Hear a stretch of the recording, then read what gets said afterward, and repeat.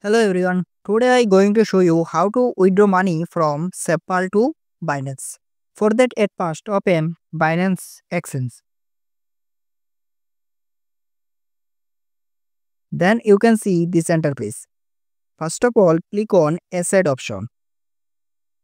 Then click on Add Fund. Then click on On-Chain Deposit.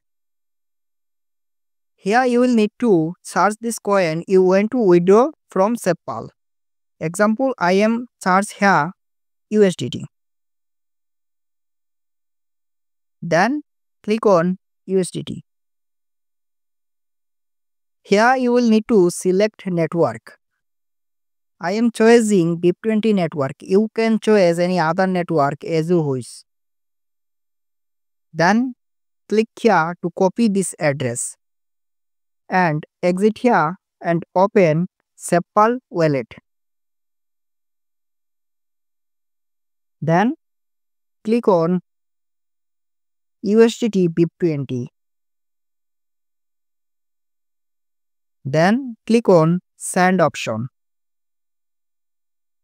Then paste the USDT address here.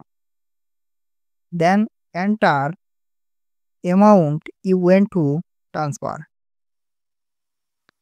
Then click on next option to successfully transfer. You can withdraw money from SafePal to Binance following this process. Thank you for watching our video. Subscribe our channel for more informative video.